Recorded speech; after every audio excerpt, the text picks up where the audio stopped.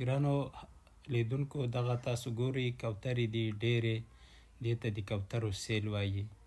اوس موږ او تاسو چي اسان يو ځای ډير وي وايي دي اسانو ګلا يا مثلا خره ډير وي يو ځای کي وايي دي خرو پاده داسي مرغان که يو ځای کي ډير سره ګرځي هغو ته څه وايي دي مرغانو سيل دي کوترو سيل دي کارغانو سيل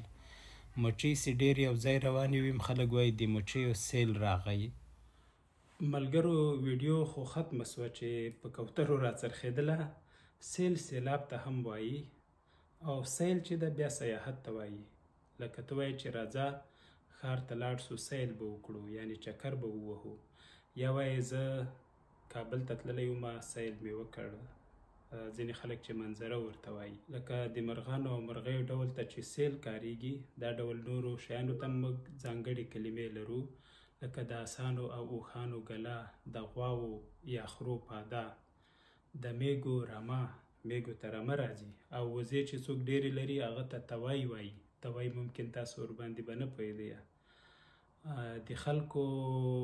شمېر چې ډېر وي ډله هم ورته وایي. اختر کې چې وي خلک جومات سره ټولېږي، ډوډۍ ته ځي یو بل کور ته، بیا نو هغوی په ډلو ډلو وېشل کېږي، هغه ته پېنډې هم وایي، او ځینې خلک پلندرې او بلندرې ورته وایي. دغه کلمې بیا رسمیاتو کې توپیر کوي، مثلا په پوځ کې ځان ته ورته ویل کېږي لکه ډلګۍ، کنډک، لیوا، غونډ، اردو، لښکر او خبره چې د لښکر سوه خبره به د خوشحال بابا په شعر پای ته ورسوو وایي د عالم ډېرې خبرې لور په لور خورې لښکرې له خپل ځایه نه خوځېږم غر خو هسې وي که نه تاسو ته هم که ورته نومونه معلوم وي لکه دغه زموږ سره یې شریک کړئ ښه وخت.